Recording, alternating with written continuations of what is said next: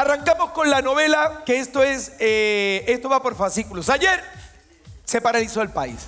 Todo el mundo hablaba de Cristian Cueva, de la repercusión, de qué es lo que había ocurrido después de las declaraciones de Pamela López en esa rueda de prensa, donde lo acusa eh, y le pone una denuncia por maltrato físico y psicológico. De ahí estuvimos siguiendo en la mañana, minuto a minuto, qué es lo que ocurría. Vimos el comunicado de Cienciano que estaba concentrado en el Hotel Los Delfines para el partido de ayer, que por cierto perdieron 3 a 0 contra Alianza Lima. Y jugará, no jugará, irá convocado. Eh, vimos un comunicado tibio, empezamos a esperar qué es lo que pasaba con las horas. Y ahora vamos a arrancar el programa actualizando. Lo primero, cosas que han pasado, compañeros. Cristian Cueva salió al frente con un comunicado pidiendo perdón. Por otro lado, Cienciano saca un nuevo comunicado diciéndole, chao Aladino, no necesitamos de tu magia. Adiós. Y tres, siguen apareciendo cada vez más personajes, sigue apareciendo por parte de Pamela López más comentarios, más cosas que cada vez pintan más de cuerpo entero. Esto va a terminar muy mal. Va a terminar muy Esto va a terminar muy mal, me huele, porque ya la denuncia ha sido acogida, medidas de protección para Pamela López. pero vamos a ver ahora, tenemos una nota que ha hecho Jorge Solari. Efectivamente, Jorge Solari ha preparado un informe, una nota, donde nos actualiza todos estos datos que han ocurrido en las últimas 24 horas. No, no, no fue la primera vez. Muchos años de violencia física.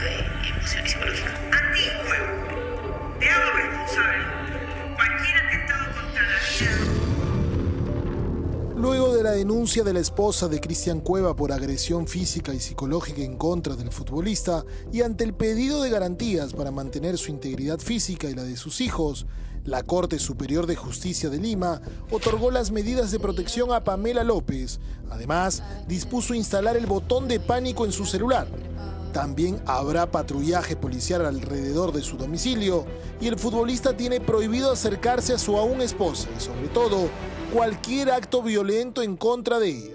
Si no cumple con las indicaciones, Cristian Cueva podría ser denunciado penalmente. Cueva parece estar pasando los momentos más difíciles de su vida en todo aspecto. Su círculo familiar se diluye su esposa lo ha denunciado y el respaldo de la gente del que alguna vez gozó por la admiración hacia su talento deportivo, hoy también lo ha perdido. Nada profesional, amigo. Nada profesional. Es un tipo que alcohólico, o sea, todo lo malo. vergüenza, pues, ¿no? Porque es un futbolista profesional y, la verdad es que como ex seleccionado de la, de la selección de Perú, vergüenza nada más. Ah, no, está muy mal pues que le maltrate a una mujer, ¿no? No, no se debe dejar maltratar. Me parece que es un patán. Creo que más se debería preocupar por sus hijos que por estar con su nueva pareja.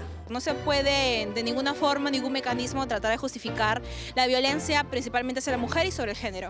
Otro también considero que al ser una figura pública y sobre todo ser un futbolista tendría que ser un ejemplo de persona porque muchos niños, por ejemplo, que también aspiran a seguir una carrera deportiva, también buscan buscar un ejemplo a seguir. Desesperado ante lo que estaba sucediendo, el futbolista utilizó sus redes sociales para, mediante un comunicado, hacerse responsable de sus actos y pedir que no le corten la posibilidad de seguir jugando al fútbol. La violencia es inexcusable y mi conducta, aunque no haya sido espontánea, sino respuesta, también lo es. Me hago y haré responsable de mis actos, lo que no implica que deje de defenderme y busque aclarar ante las autoridades aquellos hechos. Mientras la verdad se busca y encuentre las instancias correspondientes, pido por favor que se me deje jugar al fútbol, pues es junto a mis hijos lo que me sostiene. Hoy quiero abrir mi historial médico. Una vez más, ruego que el salvavidas que es para mí el fútbol no se me quite. Pero fue en vano.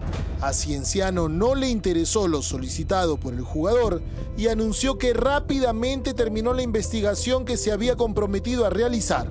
Y en menos de 24 horas decidió separarlo de manera definitiva del club. Es decir, Cristian Cueva se quedó sin equipo.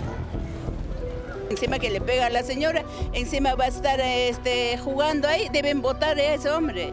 mal ejemplo para los jóvenes. Hoy, hoy su equipo, el que lo contrató ayer, ha anunciado que lo ha sacado. Claro, mejor, mejor bien que lo saquen. Que solucione sus problemas y después se ponga a trabajar. Porque para mí está muy mal. Como equipo de Perú deberían sacarlo de todos los equipos porque es un, es un pegalón. Pucha, ¿dónde va a terminar jugando? Pues ya tiene que solucionar primero sus cosas para poder volver a jugar fútbol, de verdad primero solucionar su vida y ya luego realmente si quiere ser un profesional dedicarse, pero ya con la edad que tiene es un caso perdido ya. Claro, me imagino que primero tiene que arreglar sus problemas legales para que pueda continuar en ese, en ese trabajo tan grande que tiene. En otro manotazo más, buscando la masiva comprensión, Cueva expuso un diagnóstico médico donde se puede leer que sufre de depresión crónica. Conclusión, ante su inestabilidad emocional, alteración del sueño, uso de alcohol y los problemas de relación con su pareja. Cristian Cueva, hoy con 32 años, parece pedir a gritos compasión y comprensión, algo que ha hecho antes y que ya ha tenido. Cuevita, como se le conocía allá por el 2008, apareció en el fútbol peruano con la camiseta de la San Martín, equipo que lo trajo a Lima desde su natal Huamachuco y rápidamente se fue al exterior.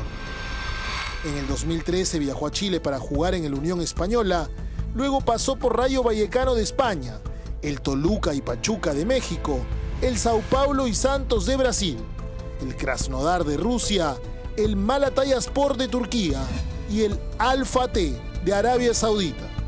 Fuera del equipo en que debutó, en ninguno duró más de dos temporadas. En medio de su trayectoria, pasó por Alianza Lima en dos oportunidades, en una se fue literalmente peleándose con los hinchas y en la otra fue separado por indisciplina. La misma razón por la que dejó el fútbol brasileño en el 2018 y el turco en el 2021. Cueva es convocado con continuidad a la selección nacional desde los 19 años, pero su rendimiento más alto lo consiguió con Ricardo Gareca al mando y terminó siendo parte del equipo que volvió a llevar al Perú a un mundial después de 36 años. A pesar de los problemas que siempre demostró, el argentino supo sacar lo mejor de él a punta de protección. Bueno, Cueva, ustedes saben en cierta manera la importancia que le damos para la selección, un jugador que para nosotros es muy importante en todo lo que él desarrolla, en lo que intenta estuvo en la última Copa América a la que fue llevado por Fossati como invitado, ya que estaba sin equipo. Jugó poco, pero jugó, algo que no hacía desde octubre del año pasado. El técnico uruguayo puso de su parte para recuperarlo. Y especialmente a Cristian Cueva le mandamos un abrazo de parte de todo el grupo. Está en muy buen camino, primero y antes que nada porque, porque reconoce que se equivocó de nada vale los esfuerzos que puedan poner todos los que lo quieren alrededor de él si él no lo hace, si él no pone todo lo que tiene que poner. Pero aún no lo entiende. Son innumerables las imágenes del jugador tomando licor, divirtiéndose hasta sobrepasar los límites, peleándose en las calles y hasta fumando en algunas reuniones. Y ahora agrediendo a su esposa. Todo eso lo han metido a Cristian en una cueva llena de problemas. ¿Cuándo podrá resolverlos? Solo Dios y Él lo saben. Volver a pisar una cancha de fútbol debería ser la menor preocupación del jugador. Hay otros problemas aún más grandes y parece que sigue sin darse cuenta.